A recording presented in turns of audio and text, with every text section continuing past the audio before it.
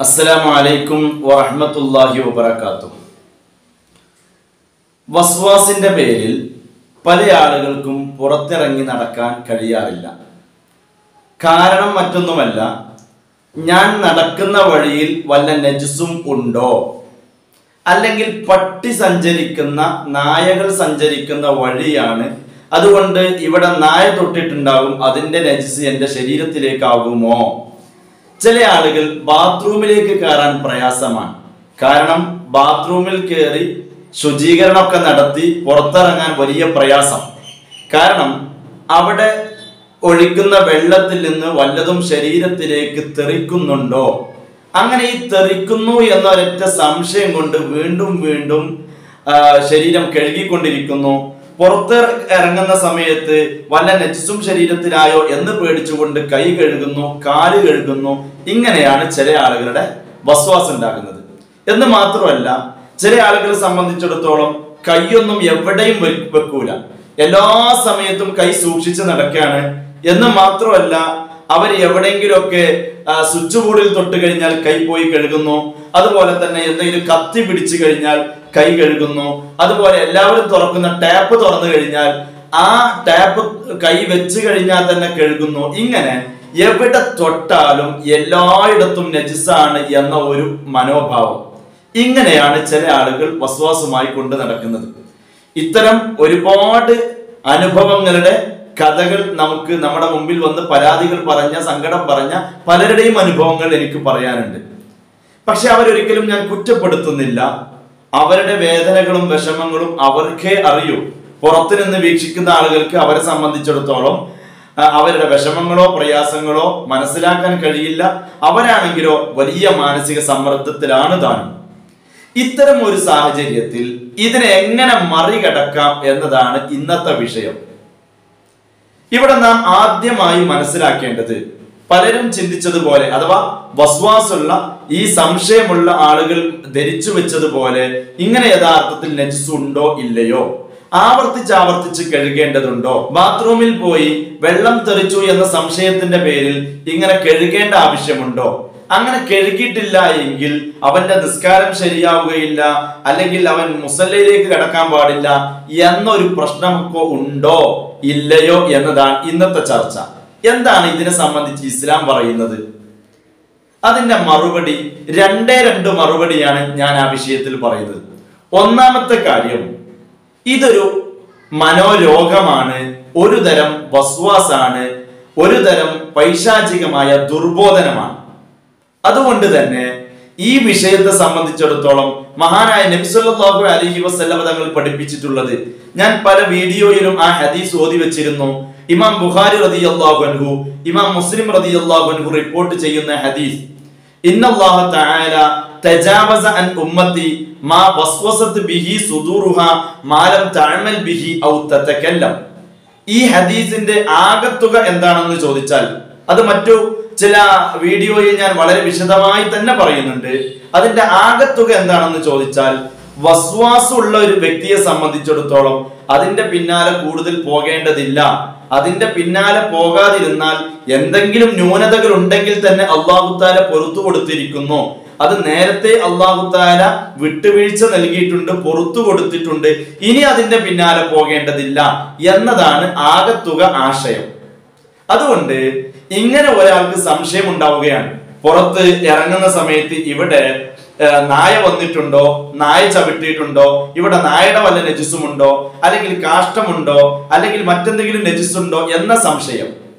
അവിടെ മനസ്സിലാക്കേണ്ടത് ഇങ്ങനെ വസ്വാസുള്ളവനെ സംബന്ധിച്ചിടത്തോളം ഇനി അങ്ങനെ എന്തെങ്കിലും ന്യൂനതകൾ ഉണ്ടെങ്കിൽ തന്നെ അള്ളാഹു താല പുറത്തു കൊടുക്കുന്നതാണ്. അതുപോലെ ബാത്റൂമിലോ മറ്റൊക്കെ പോയതിന്റെ പേരിൽ അവിടെ എന്തെങ്കിലും തെറിച്ചു എന്ന് സംശയിച്ചു നിൽക്കുന്ന ആളുകളോട് എന്തെങ്കിലുമൊക്കെ ന്യൂനത സംഭവിച്ചിട്ടുണ്ടെങ്കിൽ തന്നെ അള്ളാഹു താല പുറത്തു കൊടുക്കും. കാരണം വസ്വാസിന്റെ വിഷയത്തിൽ അള്ളാഹു തല വിട്ടുവീഴ്ച നൽകുന്നുണ്ട്. രണ്ടാമത്തെ ഒരു മറുപടി എന്ന് പറയുന്നത് വളരെ ശ്രദ്ധിച്ചു കേൾക്കണം. അഥവാ ഫിഖഹിന്റെ ഗ്രന്ഥങ്ങളിലൊക്കെ കാണാം ഒരു കായിക ഒരു നിയമം. എന്താണ്? അൽ യഖീനു ലാ യുസാലു ബിശക്കി അൽ യഖീനു ലാ യുസാലു ബിശക്കി എന്താണ് അതിനർത്ഥം? ഉറപ്പുള്ള ഒരു കാര്യം അത് സംശയം കൊണ്ട് നീങ്ങിപ്പോവുകയില്ല. ഒരു കാര്യത്തിൽ ഉറപ്പുണ്ട് എങ്കിൽ പിന്നീട് വരുന്നത് സംശയമാണെങ്കിൽ അതൊരിക്കലും ഉറപ്പ് നീങ്ങി പോവുകയില്ല. ഞാൻ ഈ പറഞ്ഞതിന്റെ താല്പര്യം അല്ലെങ്കിൽ ആശയം എന്താണെന്ന് കേൾക്കുന്ന പലർക്കും മനസ്സിലായിട്ടുണ്ടാവണമെന്നില്ല. മനസ്സിലായിട്ടുണ്ടാവൂല. ഞാൻ അതൊന്ന് വിശദീകരിച്ചു തരാം. അഥവാ ഒറ്റവാക്കിൽ പറയുകയാണെങ്കിൽ ഉറപ്പുള്ള ഒരു കാര്യമുണ്ടോ അത് പിടിക്കുക സംശയമുള്ളതാണോ അത് തള്ളിക്കളയുക. ഒരു ഉദാഹരണം പറയാം. ഞാൻ വുളു എടുത്തിട്ടുണ്ട്. എപ്പോഴാ വുളു എടുത്തത്? മകരിബിന്റെ തൊട്ട് മുമ്പ് ഞാൻ വുളു എടുത്തിട്ടുണ്ട്. വുളു എടുത്ത് എന്നെ സംബന്ധിച്ചിടത്തോളം ഞാൻ മകരിബ് നിസ്കാരം കഴിഞ്ഞു. ഇഷാഇന്റെ സമയം വരെ ആ വുളു കൊണ്ട് തന്നെ നിൽക്കാം എന്ന് കരുതി ഇഷാ നിസ്കരിക്കാൻ വേണ്ടി നിൽക്കുന്ന സമയത്ത് എന്റെ മനസ്സിൽ ഒരു സംശയം. എന്താ സംശയം? എന്റെ വുളൂ എനിക്ക് വുളൂ ഉണ്ടായിരുന്നു എന്നത് ഉറപ്പാണ് യാതൊരു സംശയവുമില്ല. പക്ഷെ അതിനുശേഷം നിസ്കാരത്തിന് ശേഷം ഞാൻ ബാത്റൂമിൽ പോയിട്ടുണ്ടോ? അപ്പൊ എന്റെ വുളൂവ് മുറിഞ്ഞിട്ടുണ്ടാകുമോ? അല്ലെങ്കിൽ എന്റെ ഭാര്യ എന്റെ അടുത്തേക്ക് വന്നിട്ടുണ്ടായിരുന്നു അവൾ എന്നെ തൊട്ടിട്ടുണ്ടോ? തൊട്ടിട്ടുണ്ടെങ്കിൽ എന്റെ വുളൂവ് മുറിയും. അതല്ലെങ്കിൽ വുളൂവ് മുറിയുന്ന മറ്റെന്തെങ്കിലും കാര്യങ്ങൾ ഉണ്ടായിട്ടുണ്ടോ? ഉണ്ടാകാ ഉണ്ടായതായി ഓർമ്മയില്ല. സാധ്യതയുണ്ട്. സാഹചര്യങ്ങളുമുണ്ട്. പക്ഷേ ഉറപ്പില്ല. ഇവിടെ എന്നെ സംബന്ധിച്ചിടത്തോളം മകരി നിസ്കാരമൊക്കെ കഴിഞ്ഞിട്ടുണ്ട്. ഇനി ഇഷാന്റെ സമയമാണ്. ഈ എന്നെ സംബന്ധിച്ചിടത്തോളം ഇനി ഈ വുളൂവ് കൊണ്ട് ഐഷാഖ് നിസ്കരിക്കാൻ പറ്റുമോ ഇല്ലയോ? എന്താണ് ഫിഖ് പറയുന്നത്? എന്താണ് കർമ്മശാസ്ത്ര പണ്ഡിതന്മാർ പറയുന്നത്? മഹാന്മാരായ കർമ്മശാസ്ത്ര പണ്ഡിതന്മാർ പറയുന്നു എനിക്ക് നിസ്കരിക്കാവുന്നതാണ്. എന്താണ് കാരണം? എനിക്ക് വുളു ഉണ്ടായിരുന്നു എന്നത് ഉറപ്പാണ്. ഞാൻ വുളു എടുത്തിട്ടുണ്ട് മകരി നിസ്കരിച്ചിട്ടുണ്ട്. എന്നാൽ അതെനിക്ക് ഉറപ്പാണല്ലോ. അതെ ഉറപ്പാണ്. എന്നാൽ പിന്നീടുണ്ടായത് എന്റെ പുതുവ് മുറിയാൻ വല്ല കാരണങ്ങളും ഉണ്ടായിട്ടുണ്ടോ? ഞാൻ ബാത്റൂമിൽ പോയി മലമൂത്ര വിസർജനം നടത്തിയിട്ടുണ്ടോ? സാധ്യത ഉണ്ട് പക്ഷെ ഉറപ്പില്ല. എന്റെ ഭാര്യയെ തൊടാൻ സാധ്യതയുണ്ടോ? സാധ്യതയുണ്ട് ഉറപ്പില്ല. അതല്ലെങ്കിൽ മറ്റെന്തെങ്കിലും കാരണങ്ങൾ കൊണ്ട് വുളൂ മുറിയാൻ സാധ്യതയുണ്ടോ? അതെ സാധ്യതയുണ്ട് പക്ഷേ ഉറപ്പില്ല. ഇവിടെ നാം മനസ്സിലാക്കുക ഇവിടെ ഇസ്ലാം പറയുന്നു ഉറപ്പിനെ പിടിക്കുക സംശയത്തെ ഒഴിവാക്കുക. ഉറപ്പിനെ പിടിക്കുക സംശയത്തെ ഒഴിവാക്കുക. അൽ യഖീനു ലാ യുസാലു അതടിസ്ഥാനത്തിൽ എനിക്ക് ഒരു കാര്യം ഉറപ്പാണ് ഞാൻ വുളു എടുത്തിരുന്നു. വുളു മുറിഞ്ഞു എന്നതിൽ എനിക്ക് ഉറപ്പില്ല അത് സംശയം മാത്രമേ ഉള്ളൂ. അതുകൊണ്ട് ഉറപ്പുള്ള കാര്യം എന്താണ്? ഞാൻ വുളു എടുത്തിരുന്നു. അതുകൊണ്ട് ഞാൻ വുളു ഉണ്ട് എന്ന് ഉറപ്പിക്കുക. പിന്നെയോ വധു മുറിഞ്ഞു എന്ന വിഷയത്തിൽ കേവലം സംശയം മാത്രമേ ഉള്ളൂ. അതുകൊണ്ട് ഞാൻ ആ സംശയത്തെ ഒഴിവാക്കുക വധു മുറിഞ്ഞു എന്ന ധാരണ ഞാൻ ഒഴിവാക്കുക എനിക്ക് ആ വധു ഉണ്ട് എന്ന് ഞാൻ ഉറപ്പിക്കുകയും ഇഷാ നിസ്കരിക്കുകയും ചെയ്യാം. ഇതാണ് ഫിഖിന്റെ മസ്അല. സൂക്ഷ്മത മറ്റൊന്നാണ്. സൂക്ഷ്മതയുടെ വിഷയമല്ല നമ്മുടെ ചർച്ച.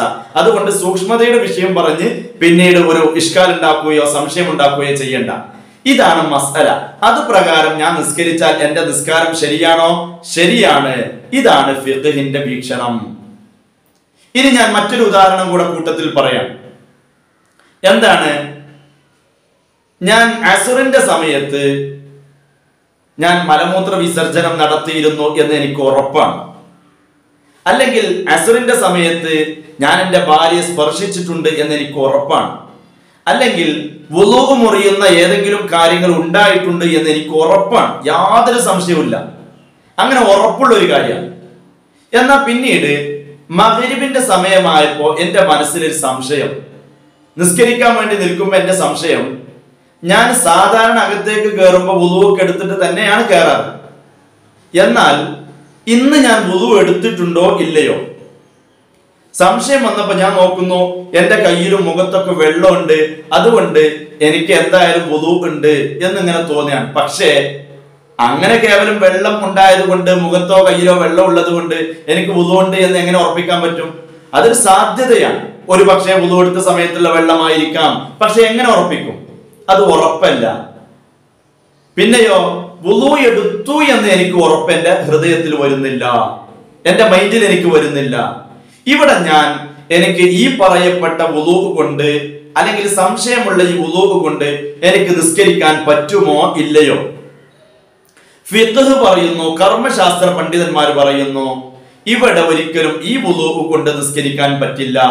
എന്താണ് കാരണം? വുളു ഉണ്ടായിരുന്നില്ല എന്നത് ഉറപ്പാണ്. വുളു മുറിഞ്ഞിരുന്നു എന്നത് ഉറപ്പാണ്. അതാണ് ഇവിടെയുള്ള ഉറപ്പ്. അതേസമയം പിന്നീട് ഞാൻ വുളു എടുത്തിട്ടുണ്ട് എന്നത് കേവലം സംശയമാണ്. ചിലപ്പോൾ ഒരു പത്ത് ശതമാനം സംശയം ഉണ്ടാവാം അല്ലെ അമ്പതാവാം എഴുപതാവാം തൊണ്ണൂറാവാം എന്തായാലും ഉറപ്പില്ല. ഉറപ്പ് എന്ന് പറയണമെങ്കിൽ നൂറിൽ നൂറ് ശതമാനം ഉണ്ടാവണം. അതിനാണ് ഉറപ്പ് യഥീന് എന്നൊക്കെ പറയുന്നത്. പക്ഷെ വുളു എടുത്തു എന്ന് എനിക്ക് നൂറ് ശതമാനം ഉറപ്പില്ല. ഞാൻ എന്താണ് ചെയ്യേണ്ടത്? ഞാൻ ഒരിക്കലും ആ കേവല ധാരണയിലുള്ള വുളു കൊണ്ട് എനിക്ക് നിസ്കരിക്കാൻ പറ്റില്ല. ഞാൻ രണ്ടാമത് വുളു എടുത്ത് തന്നെ നിസ്കരിക്കണം. കാരണം എനിക്ക് വുളു മുറിഞ്ഞിരുന്നു. അല്ലെങ്കിൽ ഉണ്ടായിരുന്നില്ല. മലമൂത്ര വിസർജനം നടത്തിയിരുന്നു എന്നത് യക്കീനായ കാര്യമാണ്.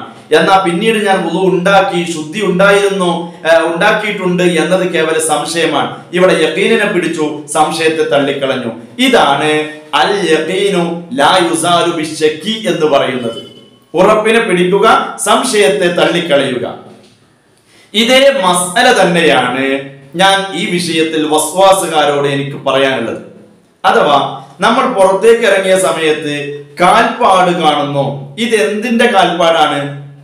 ഇതെന്തിന്റെ കാൽപ്പാടാണ്? പട്ടിയുടേതാണോ? ആടിന്റെതാണോ പൂച്ചയുടേതാണോ? എന്നൊന്നും നമ്മൾ കണ്ടിട്ടില്ല. സാധ്യതയുണ്ട് പട്ടിയുടേതാവാൻ. അല്ലെങ്കിൽ ആടിന്റെതാവാനും സാധ്യതയുണ്ട്. പട്ടി പട്ടിയുടേതാണ് അല്ലെങ്കിൽ നായയുടേതാണ് എന്ന് നമ്മൾ നേരിട്ട് കണ്ടിട്ടുണ്ടെങ്കിൽ നമുക്ക് ഉറപ്പായിട്ടും മനസ്സിലാക്കാം. പക്ഷെ ഉറപ്പില്ല. നാം കണ്ടിട്ടില്ല. എങ്കിൽ അത് നായയുടേതാണ് എന്ന് നാം പറയേണ്ടതില്ല. എന്തേ കാരണം? നമ്മളത് കണ്ടിട്ടില്ല.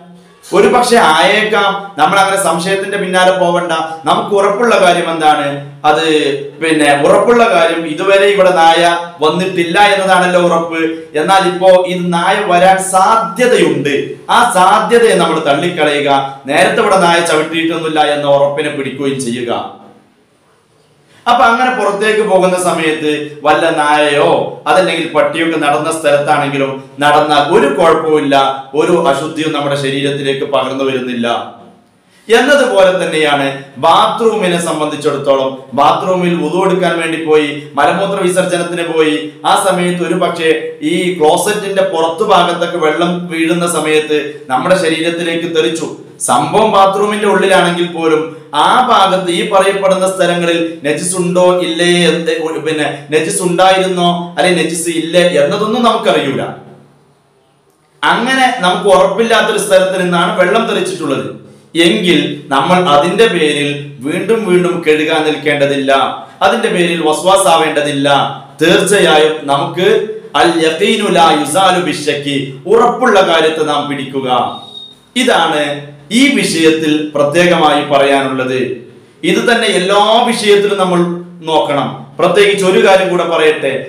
പല ആളുകളും തൊടുന്ന സ്ഥലത്ത് സ്പർശിക്കുന്ന സ്ഥലത്ത് മുഴുവനും അതൊക്കെ കഴിഞ്ഞിട്ട് കൈ കഴുകും. വീണ്ടും വീണ്ടും കഴുകും. നൂറുവട്ടം കഴുകുന്നവർ. ഇത്തരം ആളുകൾ ചിന്തിക്കുന്നത് ഒരുപക്ഷെ സ്വിച്ച് ബോർഡിൽ ഇവിടെ നെറ്റ്സ് ഉണ്ടായേക്കാം കുട്ടികൾ തൊട്ടിട്ടുണ്ടായേക്കാം ഒരാൾ പഠിക്കാൻ പോകുന്നു ക്ലാസ്സിൽ പോയിട്ട് ബെഞ്ചിൽ തൊട്ടു ഇവിടെ നെറ്റ്സ് ഉണ്ടായേക്കാം അതുകൊണ്ട് ഞാൻ കൈ കഴുകുന്നു. നമ്മൾ വാഹനത്തിൽ തൊട്ടു വാഹനത്തിൽ നെറ്റ്സ് ഉണ്ടായേക്കാം അതുകൊണ്ട് ഞാൻ കൈ കഴുകുന്നു. ഇങ്ങനെ കഴുകേണ്ട ഒരു ആവശ്യവുമില്ല. മറിച്ച് ഒരു സ്ഥലത്ത് നെറ്റ്സ് ഉണ്ട് എന്ന് നൂറ് ശതമാനം ഉറപ്പുണ്ടെങ്കിൽ മാത്രം അവിടെ നമ്മൾ സ്പർശിച്ചിട്ടുണ്ടെങ്കിൽ കൈ കഴുകിയാൽ മതി. അതുപോലെ തന്നെ നെജസായ വെള്ളം തെറിച്ചാൽ മാത്രം നാം ശരീരം വൃത്തിയാക്കിയാൽ മതി. എന്നല്ലാതെ കേവലം എവിടെന്നോ തെറിച്ചു എന്ന് കാണുന്ന സമയത്ത് തന്നെ നമ്മൾ പിന്നെ കഴുകേണ്ട ഒരാവശ്യവുമില്ല. അതുപോലെ തന്നെ പുറത്തേക്ക് ഇറങ്ങുന്ന സമയത്ത് നമുക്ക് നൂറ് ശതമാനം നെജസ്സിലൂടെ നമ്മുടെ ശരീരം തട്ടിപ്പോയിട്ടുണ്ട് എന്ന് ഉറപ്പുള്ള സമയത്ത് മാത്രം നാം കഴുകിയാൽ മതി. അല്ലാതെ കേവലം സംശയത്തിന്റെ പിന്നാലെ പോയാൽ അത് ഒരിക്കലും നമ്മുടെ ആ സംശയം അല്ലെങ്കിൽ വസ്വാസ് തീരുകയില്ല എന്നും ഈ വസ്വാസിന്റെ പിന്നാലെ പോയി നമ്മളൊരു മാനസികമായ രോഗിയായി മാറുന്ന ഒരു അവസ്ഥയാണ് ഇത്തരം വിഷയത്തിന്റെ പിന്നാലെ പോകുന്നവർക്ക് കാണാൻ കഴിയുന്നത്. അതുകൊണ്ട് വളരെയധികം സൂക്ഷിച്ച് മാത്രം കൈകാര്യം ചെയ്യുക. അൽ യഖീനു ലാ ഇസ്ലാമിക വീക്ഷണം അങ്ങനെയാണ് പഠിപ്പിക്കുന്നത്. ഉറപ്പുള്ള കാര്യത്തെ സ്വീകരിക്കുകയും സംശയമുള്ളതിനെ തള്ളിക്കളയുകയും ചെയ്യുക. ഇത് സ്വീകരിച്ചാൽ തന്നെ ഒരുവിധം വസ്വാസിന് നമുക്ക് പമ്പ കടത്താൻ പറ്റും എന്നാണ് ഓർമ്മപ്പെടുത്താനുള്ളത്. അസ്സലാമലൈക്കും വറഹ്മത്തുള്ളാഹി വബറകാതുഹു.